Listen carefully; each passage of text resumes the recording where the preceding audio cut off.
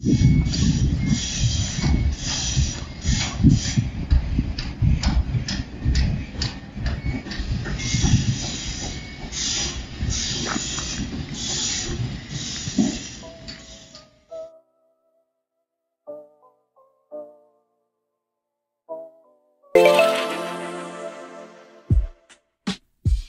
am a house with many rooms, each one filled with different tunes, personalities all clashing, fighting for space, never relaxing.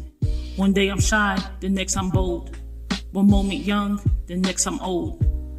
They all want to take the lead, but none know how to lead. It's a constant battle, a daily fight, but through it all, I see the light. For in each one, there is a strength, and in each one, there is a length. So I embrace them all with open arms and let them know they won't come to harm. For together, we can achieve great things and fly with the power of many wings. Yes, it may be hard to coexist, but with love and hope, we will persist. For in our differences lie our power, in our unity, we will flower. So let us march forward hand in hand, and let our differences create a grand stand.